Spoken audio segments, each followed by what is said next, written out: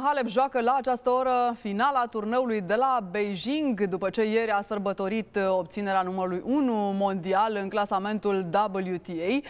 Mama ei este chiar acolo la Beijing, în tribune, în schimb tatăl are mare emoții, urmărește cu prietenii și cu fanii Simonei chiar acum în direct partida. Colega mea Cătălina Smereca se află și ea alături de tatăl Simonei Halep.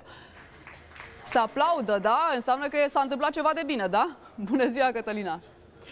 Da, bună ziua, urmărim și noi această confruntare dintre cele două sportive și mai ales alătul de tatăl Simonei. Bună ziua!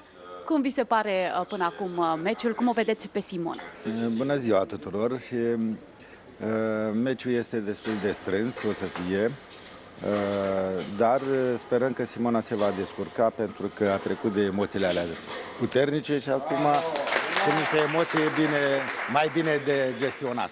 Iată, este încurajată de aici, toată lumea o aplaudă. Joacă bine.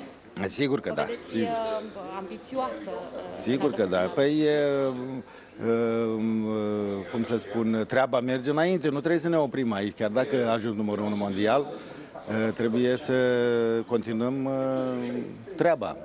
Și dumneavoastră ați avut uh, emoții ieri, spuneați că ați uh, plâns la un moment dat. Cum sunteți astăzi? V-ați mai liniștit? Aveți emoții în continuare? Uh, Emoțiile sunt normale. Sunt emoțiile normale. Cele puternice le au trecut.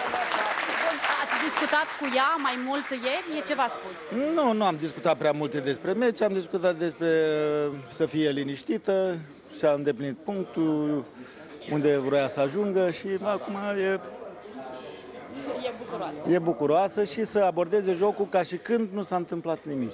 Și soția ce vă spune? Cum e să simtă acolo tensiunea bă, jocului? Păi i-am spus să preia și din emoțiile uh, copilului, să fie puțin mai lejer.